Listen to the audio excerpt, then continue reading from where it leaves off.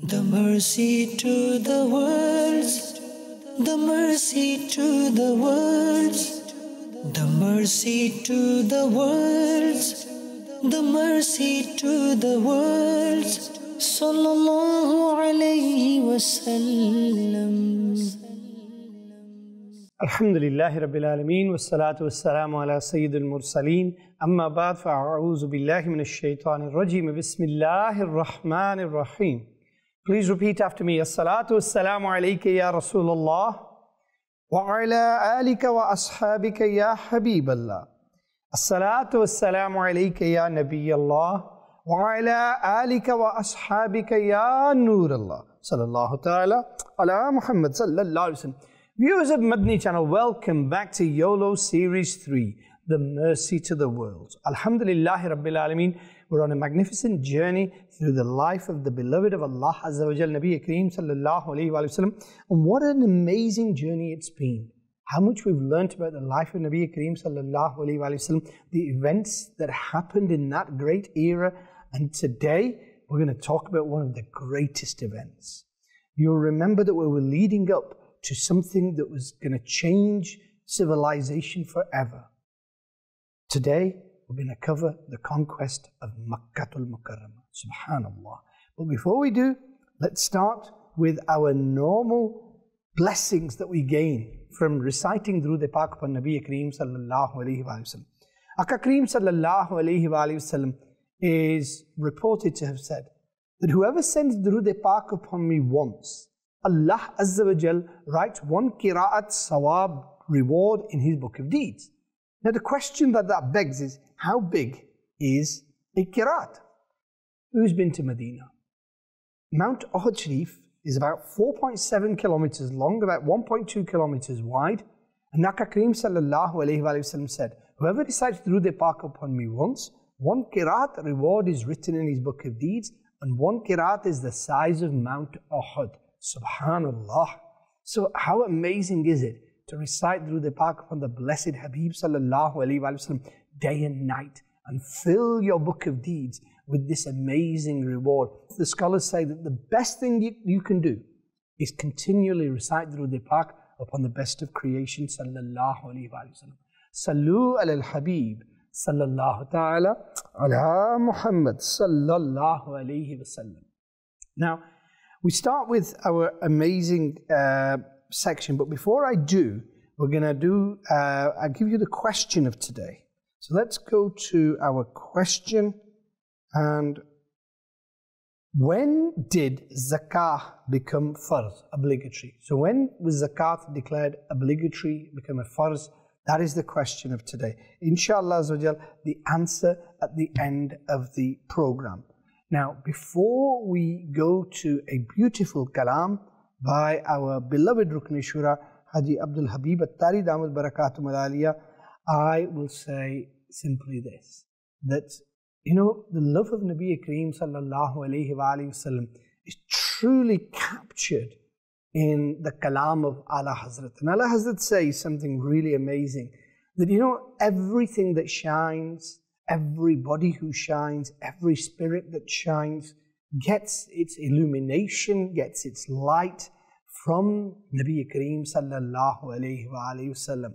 And so when, if we want to really um, reach our achievements, we want to really reach our true potential, and we want to get to those great heights, then if we turn to the court of Nabi Kareem sallallahu alayhi wa sallam, and we start to receive that beautiful light, with a clean heart and a clean mind and a clean spirit, then that light which is illuminating the world will illuminate us from inside and outside, and you will achieve what you want in life in the love of Nabi Kareem sallallahu alayhi wa sallam. So Allah Hazrat says, چمک تجھ سے پاتے ہیں سب پانے والے میرا دل بھی چمکا دے چمکانے والے Let's go to the beautiful kalam. صلو علی الحبیب صلی اللہ تعالی علی محمد صلی اللہ علیہ وسلم نہ کوئی آپ جیسا تھا نہ کوئی آپ جیسا ہے نہ کوئی آپ جیسا ہے کوئی یوسف سے پوچھے مصطفیٰ کا حسن کیسا ہے؟ اے جلوائے جانا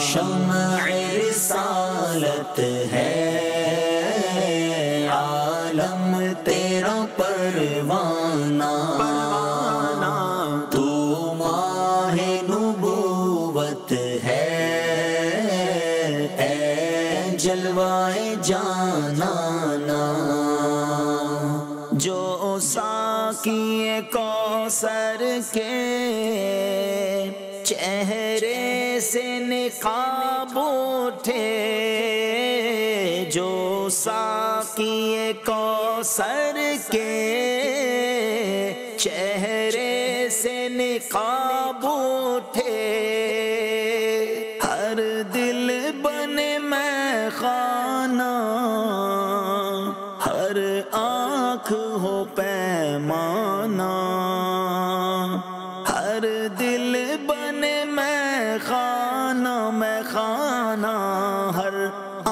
آنکھ ہو پیمانہ۔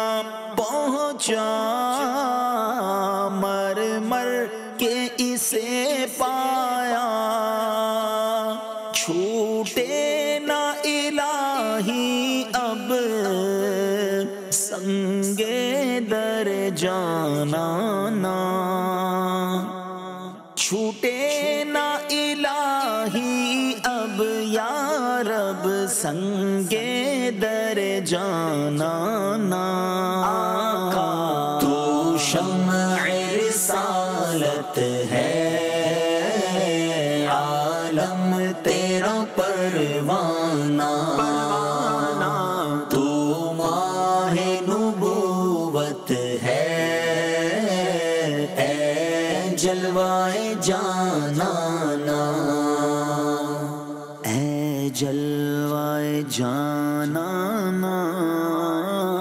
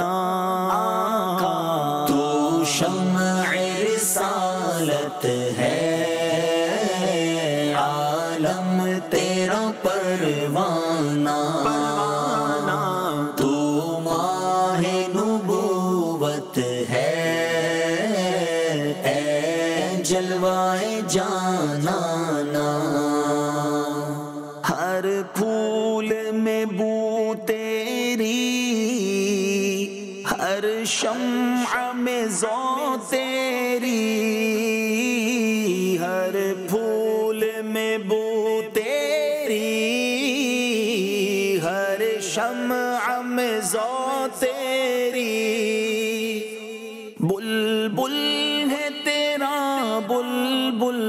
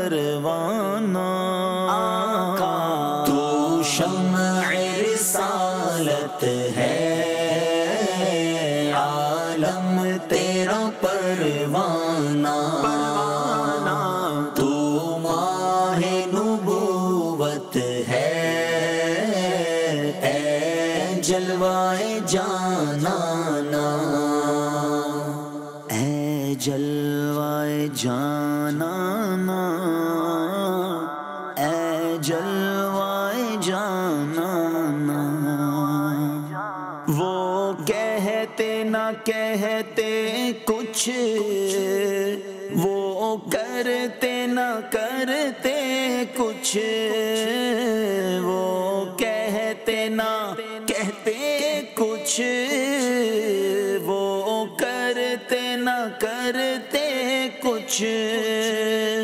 اے کاش وہ سن لیتے، مجھ سے میرا افسانہ۔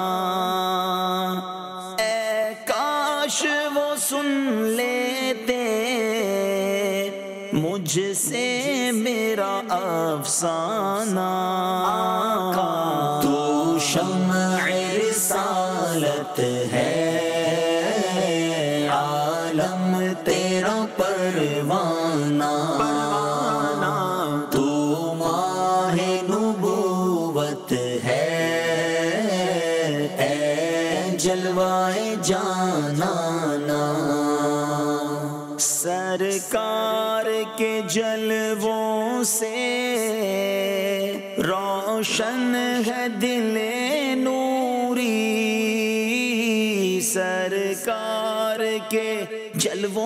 Say.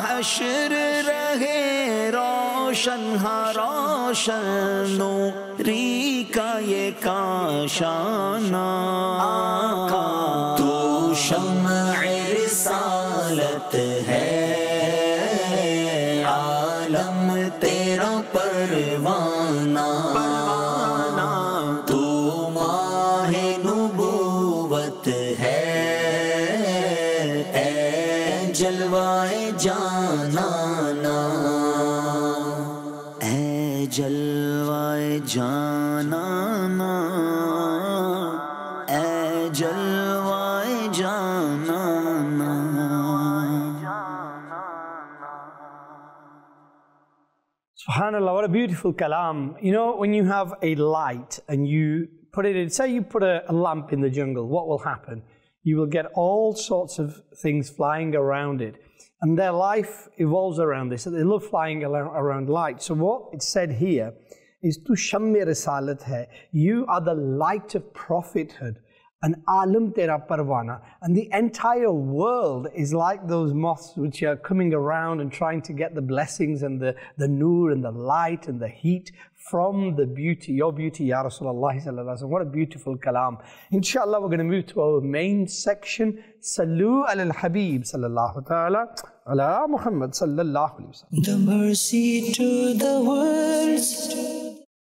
So, for those of you who joined us last week, you'll remember that we didn't cover this last week. I'll give you a quick recap of exactly where we were. Now, we covered obviously the Treaty of Hudaybiyah and how that treaty, um, on the face of it, um, proved, uh, showed that there might be difficulties for Muslims and it was favoring the kuffar. But Nabi Kareem sallallahu alayhi amazing wisdom um, shone forth and we realized within a short time that that treaty was gold. And how now even the kuffar wanted certain terms amending because of the people uh, who had um, come from Mecca and had set up camp near the coastal areas and we covered that. And so Abu Sufyan had come to Mecca to try and um, initially um, renew that treaty because the kuffar had then broken that treaty. They'd said, we don't want the treaty anymore, but then realized that they um, were taking on the might of the Muslims who had now, because of the Treaty of Hudaybiyah,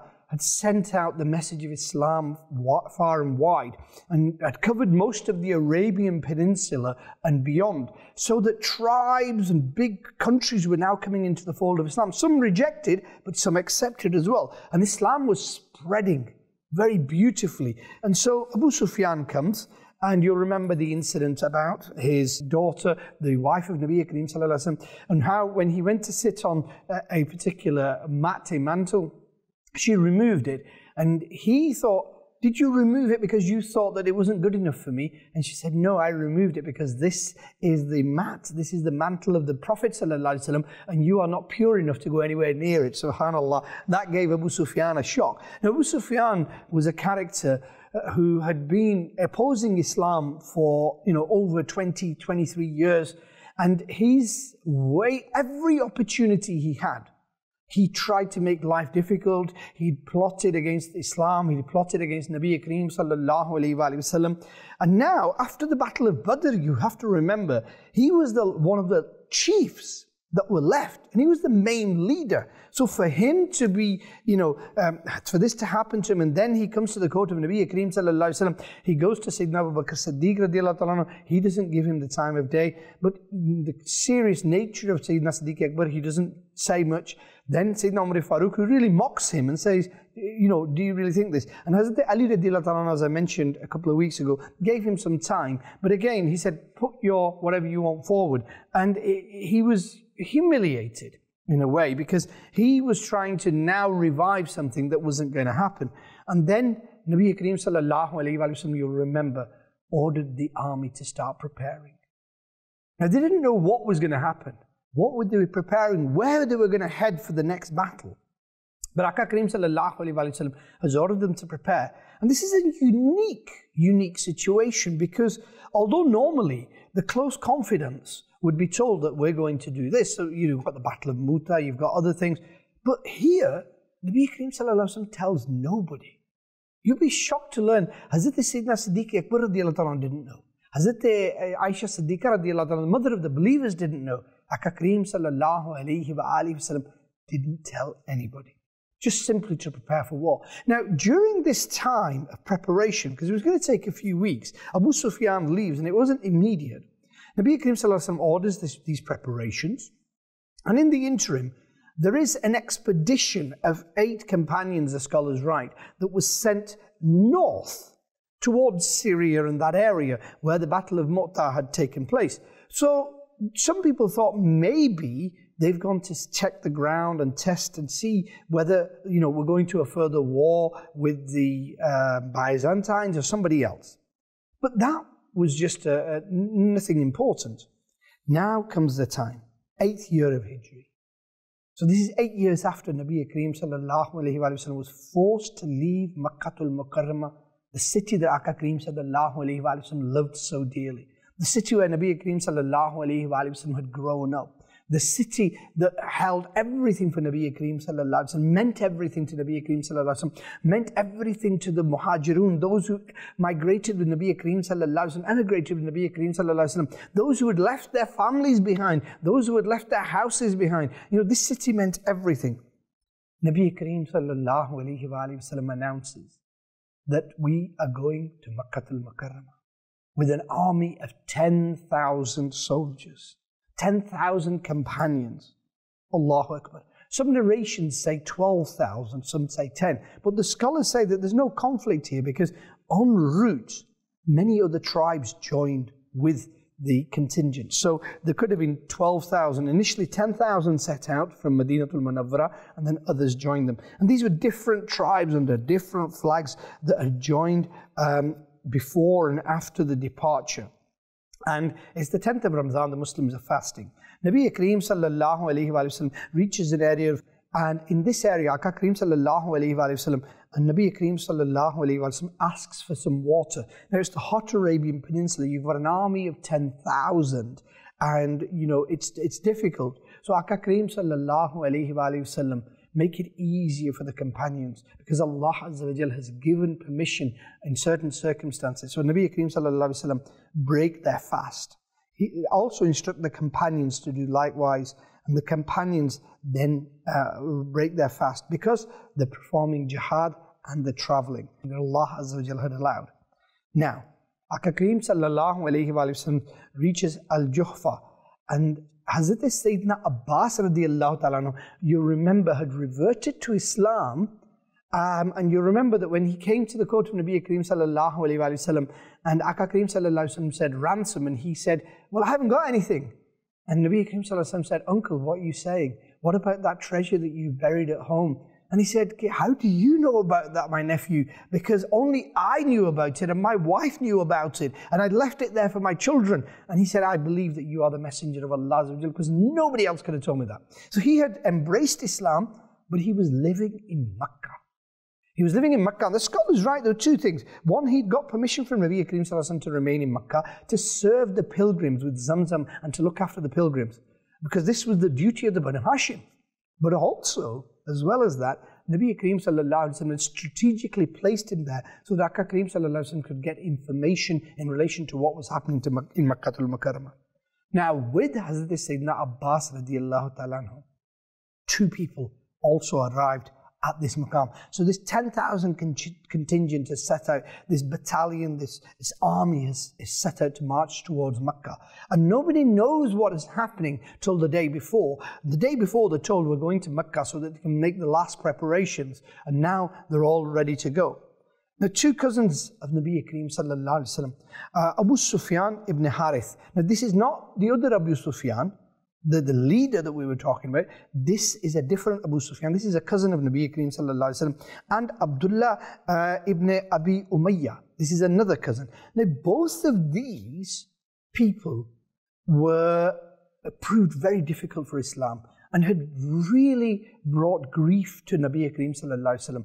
They had sterilized Aka Kareem sallallahu alaihi wasallam. They had written um, couplets against Islam, against Nabi Kareem sallallahu alayhi wa. They had refused to acknowledge Islam. They had made life difficult. And the scholars write that they had caused deep-hearted distress to Nabi Kareem sallallahu alayhi wa on the proclamation of prophethood. So, Aka Kareem sallallahu alayhi wa turns away from them. Nabi Kareem sallallahu alayhi wa wasallam doesn't look at them at, on that moment mercifully because of what they'd done. They'd opposed Islam for so long, but not just opposed, they were really the mouthpieces, the social media pieces of the time for the Quraysh and the Kuffar. And so they had hurt Nabi Kareem sallallahu alayhi in different ways. And Aka Kareem alayhi turns away from them. Now, one of the uh, mothers of the believers, the wives of Nabi Kareem sallallahu alayhi wa Sayyidina Umm Salma comes to the best of creation sallallahu alayhi wa and says, O Messenger of Allah Will your cousins be the most unfortunate people in the world for not receiving your mercy? Hearing this emotional plea, Nabi Kareem sallallahu alayhi wa takes pity on them. And Nabi Kareem sallallahu alayhi had the most beautiful heart that has ever been created. So as soon as this is there, Kareem sallallahu alayhi anger changes to mercy. And uh, at the time, Sayyidina Ali suggests to Hazrat uh, Abu, uh, Abu Sufyan ibn Harith and Hazrat Abdullah Abi ibn Umayyah, they say, Go to Nabi Kareem sallallahu alayhi. Hazrat Umm Salma radiallahu anha is already talking to them. Nabi Kareem sallallahu alayhi wa sallam's anger seems to be um, uh, getting lighter and Nabi Kareem sallallahu alayhi wa will look at you mercifully. But go there and read the ayat of the Quran where the brothers came to Sayyidina Yusuf alayhi salam and what they said. So go and read this and Nabi Kareem sallallahu alayhi wa no doubt will bless you with their mercy. So they come to the court of Nabi Karim Sallallahu and they, they read the ayat of the Quran. The translation is Surah Yusuf, uh, verse 91. By Allah, undoubtedly Allah has given you superiority over us, and we were indeed guilty. And that's what the brothers of Sayyidina Yusuf salam said when they came, when he was the king of Misr. So these now two cousins come to the court of Nabi Karim sallallahu alayhi wa sallam, and they say this. And Nabi Kareem sallallahu alayhi wa sallam, being the best of creation sallallahu alayhi wa sallam, replies, and how does Aka Kareem sallallahu alayhi wasallam reply? What better way to reply to an ayat of the Quran than another beautiful ayat of the Quran? Aka Kareem sallallahu alayhi wa sallam recites the next verse in Surah Yusuf 92. There is no reproach on you this day. May Allah forgive you, and He is the most merciful of all those who show mercy. And subhanAllah, the way that Sayyidina Yusuf alayhi forgave his brothers, in exactly the same way, Kareem sallallahu alayhi wa sallam blessed these two companions as well. Subhanallah. So he pardons them, and then Hazrat Sayyidina Abu Sufyan recites some couplets in the shan of Nabi Kareem sallallahu in the honor of Nabi Kareem sallallahu alayhi wa sallam, sincerely apologizes for the defamatory statements he made in the past and, you know, asked for forgiveness for the period of ignorance. Then, for the rest of his life, the scholars write because of what he'd done in the age of ignorance before he came into Islam, he always keep, kept his head bowed in the court of Nabi Kareem sallallahu alayhi wa sallam. And he always gave the utmost respect and reverence in the court of Nabi Kareem sallallahu And that guilt of what he'd done in the past always haunted him.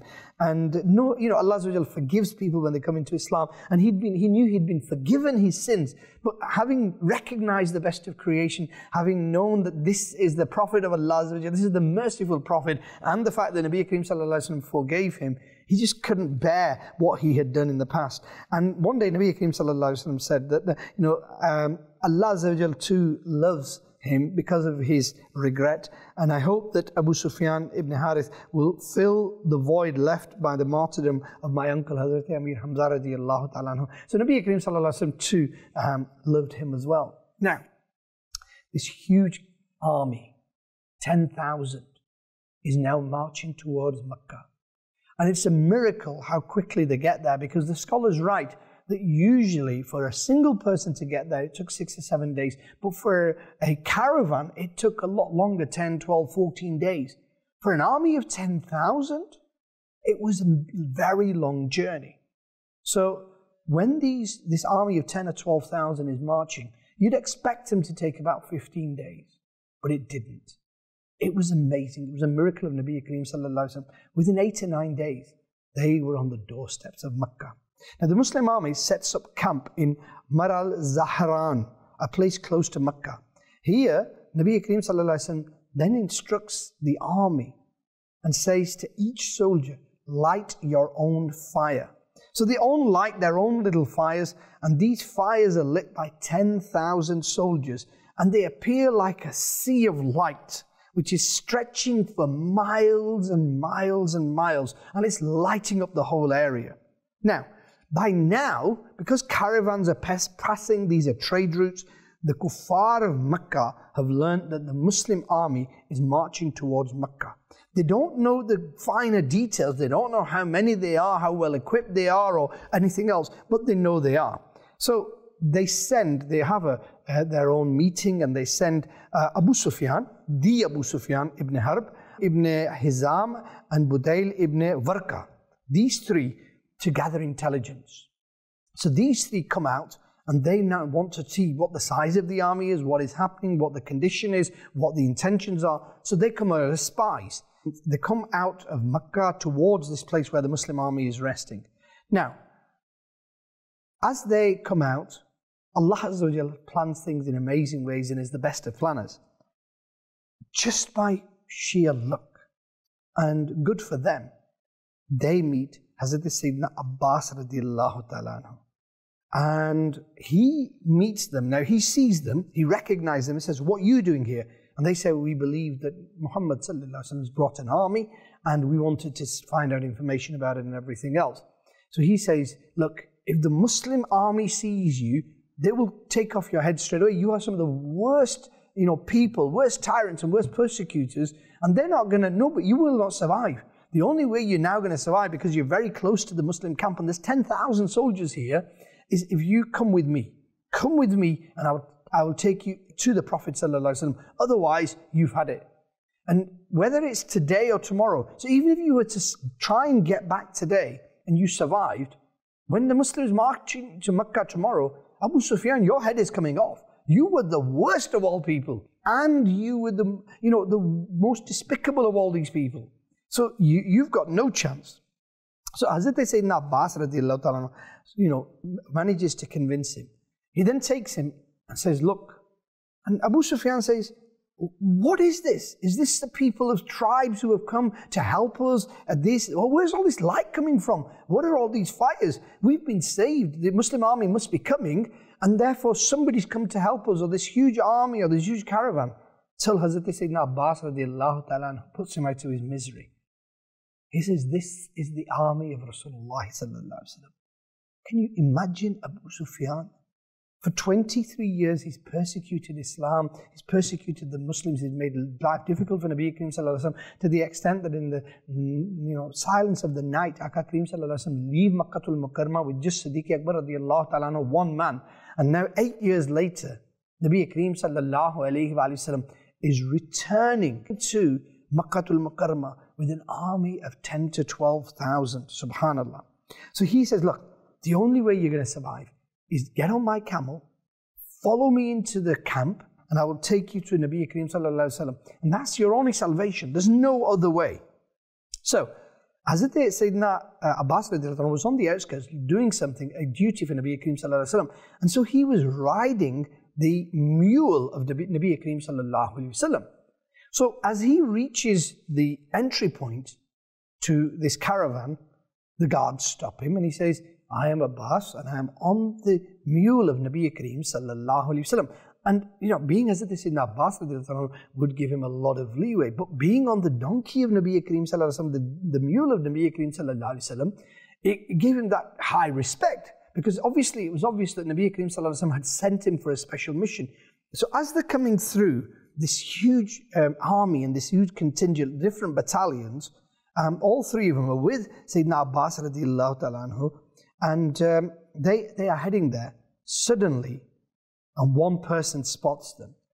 He's guarding uh, the area close to Nabi Kareem sallallahu alaihi wasallam, and he immediately recognizes Abu Sufyan. He sees the eyes, and he, he says, "That is Abu Sufyan." That person was none other than Sayyidina Umar Farooq radiallahu. He cannot contain his desire for revenge. And he immediately shouts out, That is the enemy of Allah, Abu Sufyan. He rushes to the Messenger of Allah and says, Ya Rasulullah, Abu Sufyan has been captured. Permit me to strike his neck. There is no treaty now between us. There is nothing stopping me slaying this despicable person. And Hazrat Sayyidina Abbas quickly grabs the three of them, brings them to the court of Nabi Kareem sallallahu alayhi wasallam, and says, Ya Rasulullah sallallahu alayhi wasallam, these three were spying for the Quraysh. I have brought them here, and I plead with you. I have given them my protection, and their lives should be spared. Saying this, Nabi Kareem sallallahu alayhi wa saying to Aka Kareem sallallahu alayhi wa Ya Rasulullah sallallahu I have granted them protection.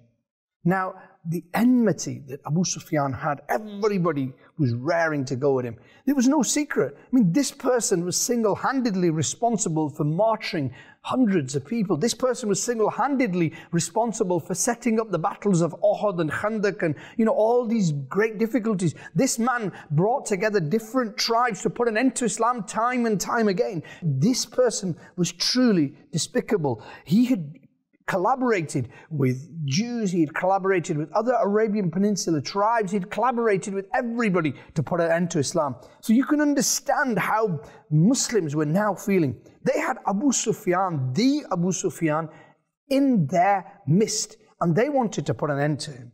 However, Nabi Kareem wasallam wasn't any normal person, wasn't a normal prophet, if I can use that word.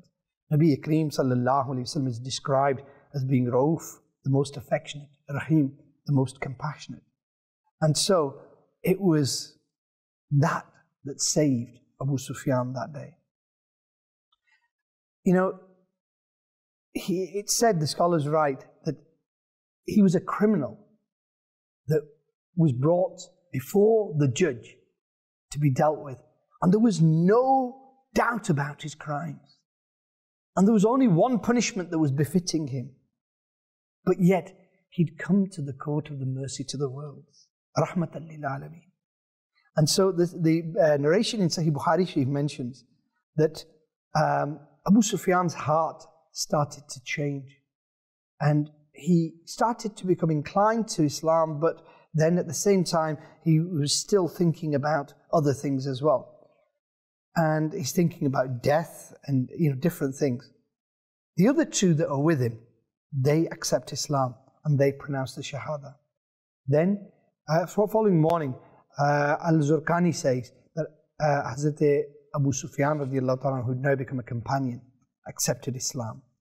And one narration mentions that there was a conversation between him and Nabi Kareem sallallahu alaihi wasallam. Kareem sallallahu alaihi wasallam said, "Oh Abu Sufyan, do you still not have faith that there is no God but Allah?" And the reply that uh, Hazrat Sayyidina Abu Sufyan radiallahu gave, because now you've got to remember, he's a companion, he's accepted Islam. Everything else, no matter what he'd done, is now in the past. But his reply, what a beautiful way to start your Islamic life. May my parents be ransomed for you.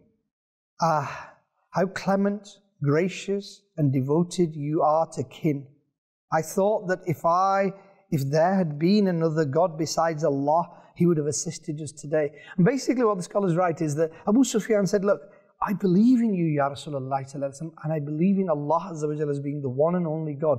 Because for all these years, 23 years, I've been fighting you. And my gods have never helped me. You've always come out on top. You've always been successful. You've always been victorious. And just that in itself leads me to concede that you must be and are the most truthful. Nabi Kareem replies, O Abu Sufyan, does there remain doubt that I am the messenger of Allah Azza wa Jal? And he again replies, May my parents be a ransom for you. Ah, the clement, the gracious, and the devoted to your kin you are. But as for the confession you ask of me to make, something in my heart still makes me hesitate to concede. At this point, Hazrat Sayyidina Abbas intervenes and said, Woe to you, Abu Sufyan. Surrender yourself to Allah and bear witness that there is no God but Allah and that Muhammad sallallahu is the messenger of Allah.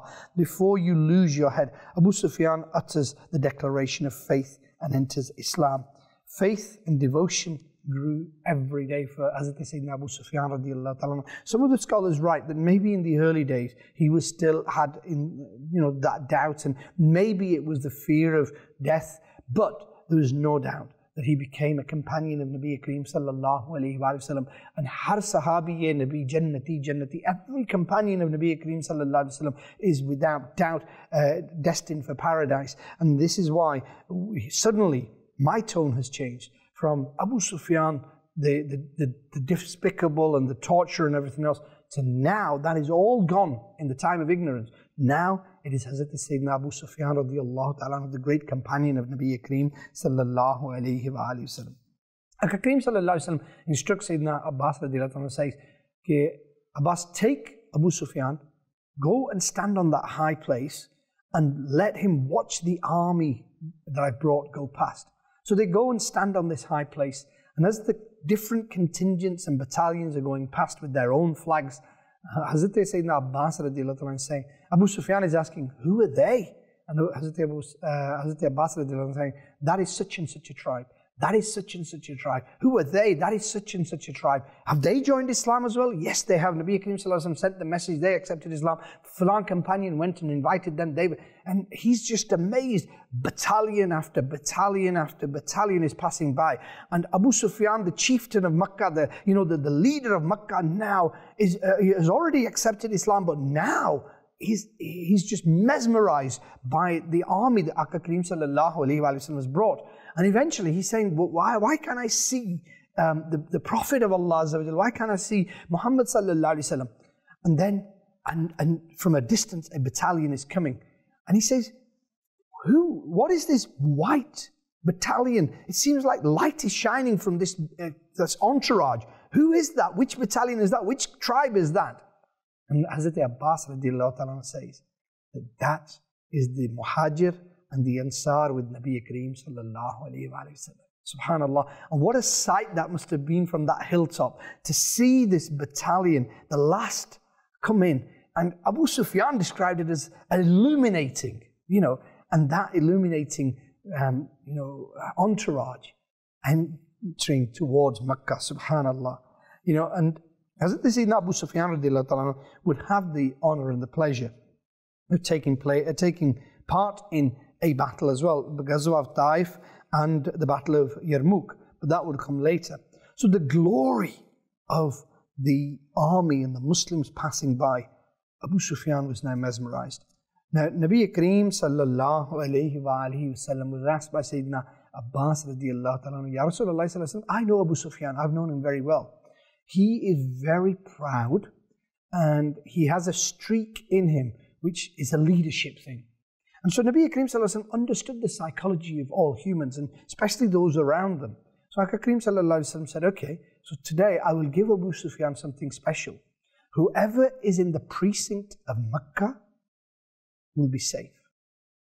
Whoever goes into the house will be safe. Whoever goes into the house of Abu Sufyan will be safe. And this was the gift that Nabi Karim was going to give to Abu Sufyan. But before that happened, something else happened. One of the companions, he sees Abu Sufyan and he says, Today we're going to slaughter you. And he's reading couplets saying, We're going to shed blood in the haram today.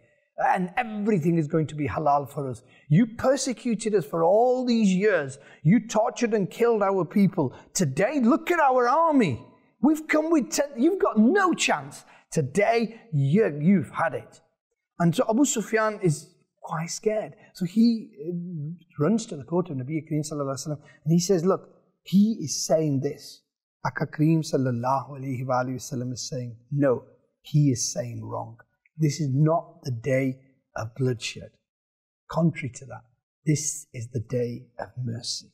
And Aka takes the flag from Hazrat Sa'ad anhu and says that you know you shouldn't be bearing the flag of the Ansar if this is what you think. Then if you're going around saying today will be the day of bloodshed and today we're going to be permitted to kill everybody even in the Haram, that is not the way that I am going to go into Makkah. I'm going to go into uh, Makkah in a way that the world has never seen and will never see until the day of judgment. We're going to back to the city which persecuted me. You know, we're going back to the city which persecuted the Muslims. This is the city where Nabi Kareem sallallahu alayhi wa was choked. This is the city where Nabi Kareem sallallahu was in sajda and the intestines of camels were put on them. This is the city where the road, the walkway that Nabi Kareem sallallahu passed by, stones were thrown onto the feet of Nabi Kareem sallallahu This was the city where thorns were placed under the feet of Nabi Kareem sallallahu This was the city that dragged the Muslims on the hot Arabian deserts and tortured them to death. This was the city where they were placed on coals, hot coals, and stones were placed on them. This was the city where, you know, people were torn limb to limb for being Muslim, for saying Allah is one, and this is the Prophet of Allah. This is the city that Muslims had to either be uh, kept in captivity or had to run away, leave everything, and go to Madinatul Munawwara. These were the people who had tortured the Muslims beyond comprehension, kept them for three years without food and water, to the extent that even children were malnourished and they had to eat leaves from trees. So, can you imagine that same city now? And the Muslims are coming back into it with a contingent of 10,000. You've got, you know, itchy hands to take revenge. You've got people angry. You've got people frustrated. And all of this. And yet, amidst all of this, is the mercy to the world. Subhanallah. And so, Nabi Kareem sallallahu alayhi wa alayhi wasallam order three, the army to split up into three. One enters from the west, one from the east, and Hazrat Sayyidina Khalid bin Walid radiallahu enters from the other side. But again, what the army, the entire army is told, is that you will not unleash your swords. You will not unsheath your swords today. We are not here to kill anybody. You will not kill anybody. You will not hurt anybody. You will not scare anybody. No man, women, or children will be hurt today. But Ya Rasulullah, we're going to walk into Makkah. Yes. We're going to be walking to Makkah and we're going to be merciful. And the only time that you can do anything is if you're attacked. Now, once the Muslims start to come, Hazrat Sayyidina Abbas anhu, says to Abu Sufyan, right, you go and tell them. If they resist, they will be killed. But if they don't resist, then they will get protection. If they're in uh, their own houses, nothing will happen to them. And if they're, in your, if, if they're in your house, nothing will happen to them. So he goes back and he's, he's riding along and he's screaming and shouting and he says, Look, um, I've been to see the contingent, and he doesn't tell them he's accepted Islam. He can't because he, you know, they, they torture him. So he says, I've been, I've seen the army of Muhammad sallallahu alaihi wasallam. You will not be able to fight them. They are so many of them that no matter what you do, today is your end. So I advise you that uh, whoever comes to my house, and the scholars write, this was one of the things that uh, at that time Hazrat the Sayyidina Abu Sufyan had. He was very proud. He was a leader. So he actually says, whoever comes into my house, He's protected. I have got that guarantee from Muhammad sallallahu alaihi wasallam. So come to my house, and this was him, kind of that that previous kind of um, uh, traits that he wanted to show himself as the leader. Come to my house. You want protection today from this army of 10,000? You've got to hide behind me. That was the sort of thing. So he tells them. And the people of Makkah say, No, we want to fight. We want to do this. He said, I've seen the army. There's 10 to 12,000 of them. There's no way on this earth that you're going to be able to do anything. You're going to be slaughtered like lambs. So do not be foolish. Do not be foolish. I'm telling you, I have agreed terms. Come to my house, you will be protected. He was a leader, he was using that. So somebody turns around and says, How can we all fit in your house? Your house isn't big enough. Then he comes out with the full conditions. He said, Okay, well, if you can't all fit in my house, then the Muhammad said, Whoever is in the haram will also be uh, protected. And whoever goes into their own homes and closes the door will also be protected. At this, they breathe a sigh of relief. They think, okay. So they all start to go their different ways. And some of them, they go into the haram. Because you got to remember, this is Makkatul Mukarramah. Not everybody's got a house there. So some are pilgrims, some are passing, some are traders. So the traders and all the others head towards haram because they haven't got a house to go to. Those who had houses going to their house, those who wanted to go to Hazrat Sayyidina Abu Sufyan radiallahu house, go there. And Nabi Karim also said, whoever goes to the house of Hazrat Sayyidina Abbas ta'ala, he will also be protected. So some go there as well. So all this, he said, Abu Sufyan radiallahu is saying this. Obviously they don't know he's a Muslim yet. His wife suddenly comes out, Hind. Now she was a staunch enemy of Islam. So she comes out shouting and screaming at her husband. And the scholars write that she was shouting, you know, explicits.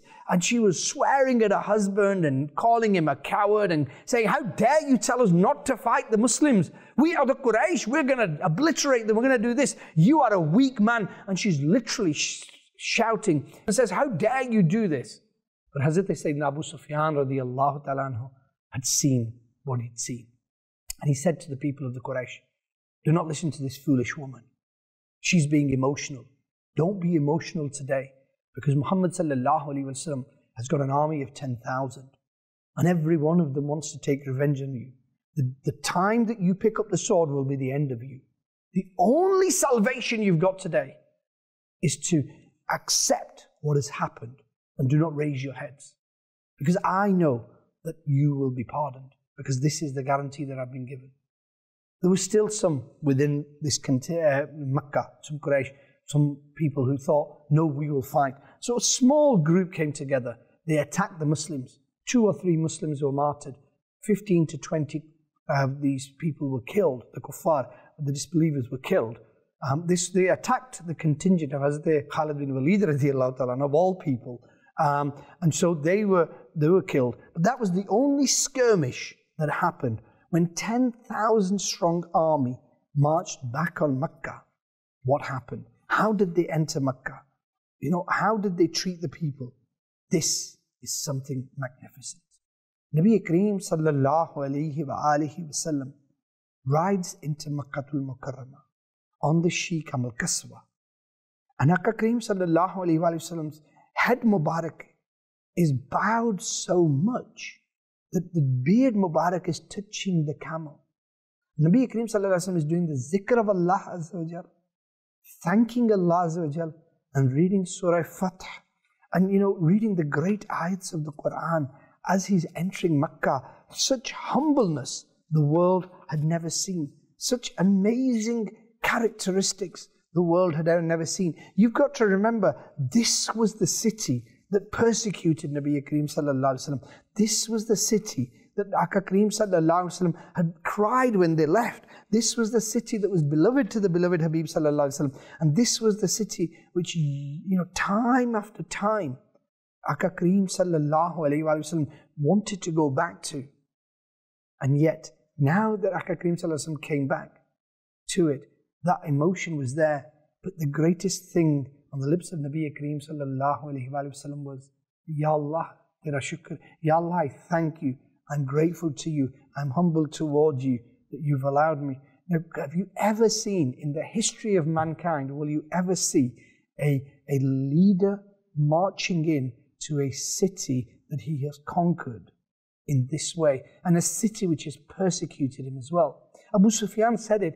He said, when he saw the great army and the contingent, he said to Hazrat Sayyidina Abbas, he said, Your nephew has built a great kingdom and he's got a lot of following. And Hazrat Sayyidina Abbas said, Abu Sufyan, it's not a kingdom. It is prophethood that has led to this miracle. And look at the way that Nabi Kareem sallallahu alayhi wa came in. Any king of the world, anybody else, when they march into a city which has persecuted them for over 20 years, you know, this is a long time. And yet, those who have done everything within their power are now uh, before them at their mercy. And I suppose the words at their mercy says it all. Because they weren't at anybody else's mercy. They weren't at the mercy of any king. They were at the mercy of the mercy to the world. What more can I say? And the mercy to the world, what Nabi Kareem did next, and what happened next, will never be matched. Ever has you know, seen an example like it. Nobody will ever see an example like it till the day of judgment. Aka Kareem humbly came into Makkatul Mukarramah. But what happened when Nabi Kareem came to Makkah? Where did they go? How did the events unfold? Inshallah, we will cover in our next next episode. Inshallah, Subhanallah, that conquest of Mecca. Wow, it's it's just just just thinking about it. You know, gives you um, that emotion and that feeling. Can you imagine the companions that were with Nabi Kareem sallallahu alaihi? Subhanallah. Inshallah, we're going to carry on from there next week. Sallu al Habib sallallahu ta'ala ala Muhammad sallallahu. I've got to give you the answer to the question. The question was, when did zakat become farz? Zakat became farz in second year of Hijri. Two Hijri was when zakat became farz. Inshallah, we will see you next week. Sallu al Habib sallallahu ta'ala ala Muhammad sallallahu The mercy to the worlds, the mercy to the worlds, the mercy to the worlds, the mercy to the worlds. Sallallahu alayhi wa sallam.